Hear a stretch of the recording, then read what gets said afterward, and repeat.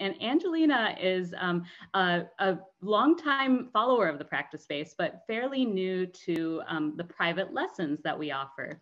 And so I'm gonna just introduce you here. Hi, Angelina. You can, uh, I, yeah, there we go.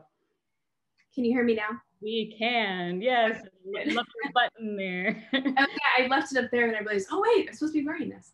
So.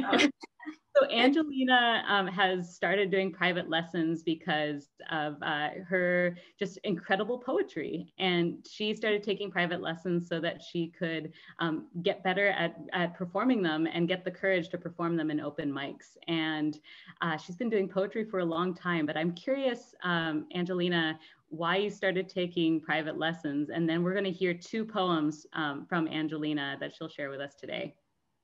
Sure. Um, I chose private sessions initially to work on building my skill and confidence in performing my poetry, as Anne Marie mentioned. Um, however, the consistency of doing this every month since April kind of had a like a good side effect, and I realized I was simultaneously building skill in self advocacy.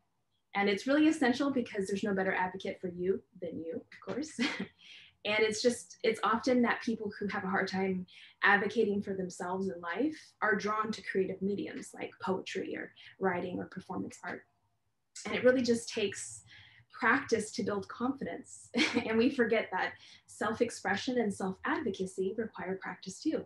So the practice space provides people like me that, that safe place to practice those skills. And it's why I'm participating in the event today. Yay, thank you, Angelina. Um, I'm really excited to hear your poetry and just um, be able to share in your creative gift. So um, she's going to read two poems.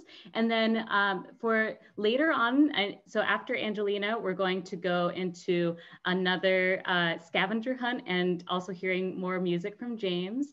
And then we're going to hear two high school speeches, um, fairly short ones. And then we will end with our young speakers debate and a little interview with me. So um, if you're a young speaker who is used, who's um, getting ready to debate, this is the time you can log on to the speaker view. So we're gonna go over to Angelina Breen and her poetry. So just gonna find you here. Okay. All right, go ahead. You can hear me still? Yeah. Yes, we can. okay, the first piece is a poem called The Porch Swing. For when I was young, I dreamed that one day it could be that I'd have a house where a porch swing would swing, that I would delight in the sway of the day, in sweet, simple gratitude of long hours of solitude. To swing to my heart's content, while learning I would cement with passing time as seasons come and go, go gently they do as this porch swing does sway, away into another time into another day. I would read and write and just sit in delight from sunrise to the end of daylight. This would be such a wonderful thing. Ah, if only I could have my porch swing. And life it does go, but not always to your flow. And dreams made young sometimes come undone.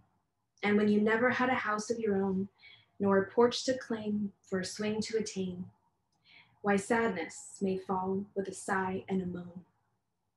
As you face a reality that you could not sustain, such a dream of a house with a porch for a swing, and yet it was only you who made up such a thing.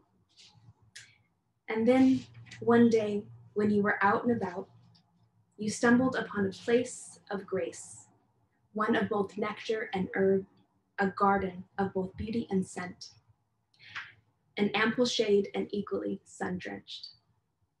How was it that you never had seen such a street with such as this for a scene? A garden for all to share and enjoy? How lovely and weird, I never saw it before. And as lovely as a daydream can be, there it was, all for me.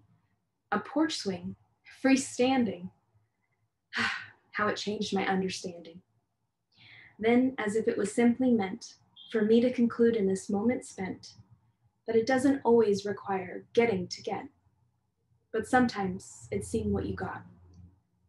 For I freely sway in this swing that's not mine to claim, nor have I attained, yet welcome for me to enjoy. And all I changed was to view it in a new way and finally get my porch swing sway. Thank you. Uh, the second piece is a short story and it's called The Library. There's nothing quite like stepping into a magnificent old library. I can't help but dream up a giddy fantasy of sneaking in on a stormy night with only a lantern and my imagination to explore its hidden gems. All the worlds contained in these rectangle shaped objects, lined up on shelves from floor to ceiling, each just waiting to be discovered. I imagine walking through the rows, the light from my lantern flickers, and spooky sounds jolt me in the right direction. I land upon that one special book that calls to me as if it made a sound only I could hear. And then just up and beyond that spiral staircase is a perfect nook to begin my reading. A bolt of lightning and a crash of thunder get me firmly planted in the corner spot. I wrap my jacket up over my head as if to cloak me from the outside world. I nestle in, and now the adventure awaits. Library opens at dawn, and I have six hours to complete the journey. Time to begin. Thank you.